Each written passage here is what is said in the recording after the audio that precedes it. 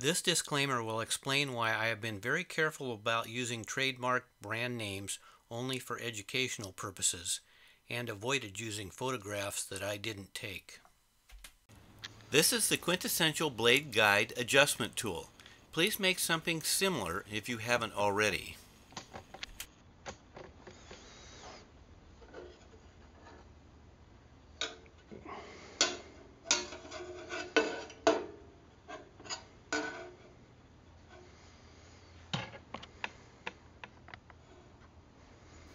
We are going to be working with all of these pieces. There will be detailed instructions, but study the way the parts go together here for a minute or two. In the lower left of the slide is a photo of a correctly adjusted saw. You should note the relationship of the top of the castings.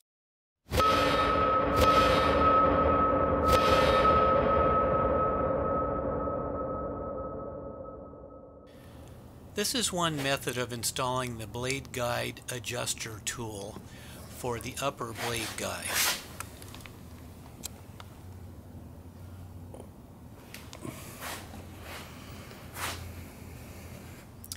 If necessary, reinstall the upper bearing axles at this time.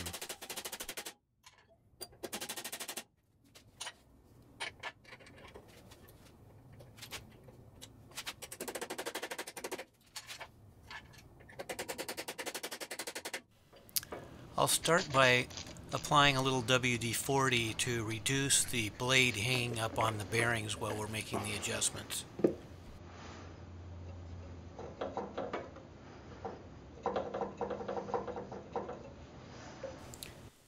This is just how easy it is to make the most exacting adjustment on the saw accurately.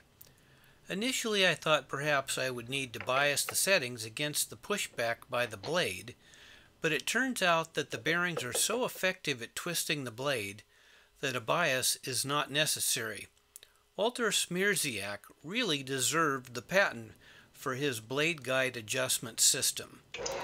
I have provided two different clips of the same adjustment and filmed with different cameras just to try and get a good perspective and demonstrate how easy it is. I have only accelerated this to 200% speed.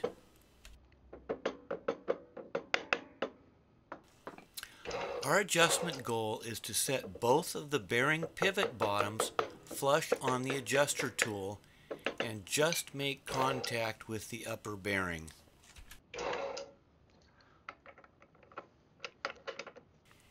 Here is another clip of the same adjustment repeated. Since one of the bearing pivots on each adjuster is fixed, the saw will return to the same horizontal plane relative to any scribe lines you may choose to put on the table to align the vise to.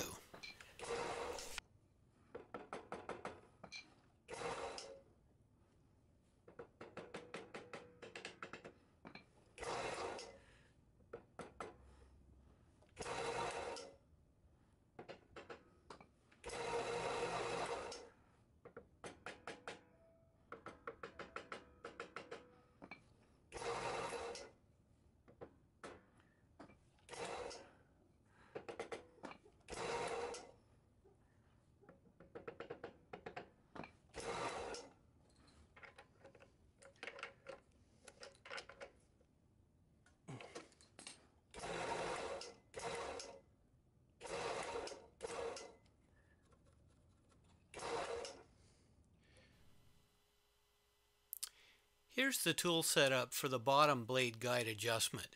Follow the same procedure. Here are some ways to use a wrench to hold the adjuster while you torque the retaining bolt.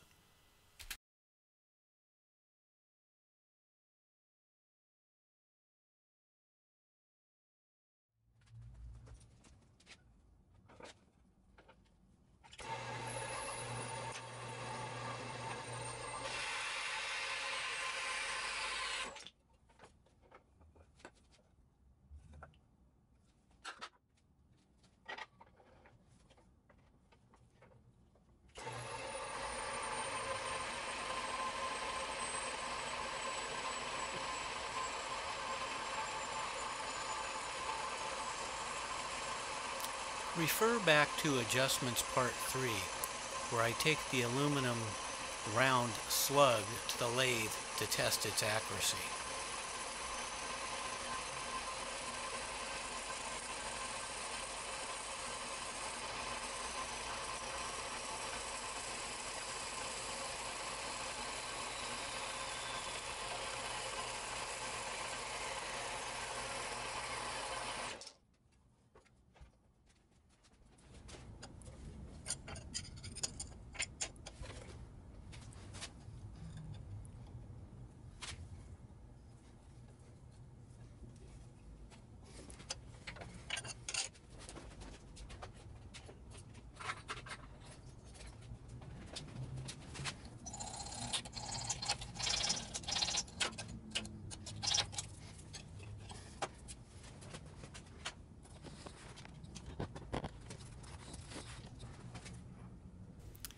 If you have made the hardware upgrades and minor modifications, and of course the adjustments, it will so greatly reduce the potential to throw the blade that it is most likely it will stall the blade and motor instead. I have done so many times without damaging the blade. That's not a problem if you are standing at the saw and can shut it off, but otherwise it may damage the motor Allowing the belt to clutch is a safeguard, and here is one method to set it up.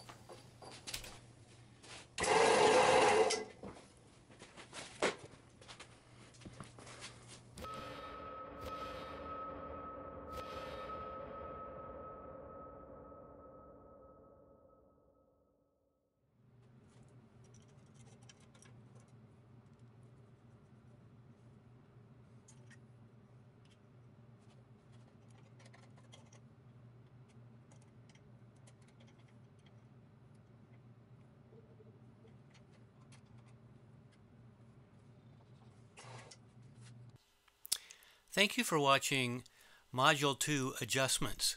I hope you will move on to Module 3 Modifications.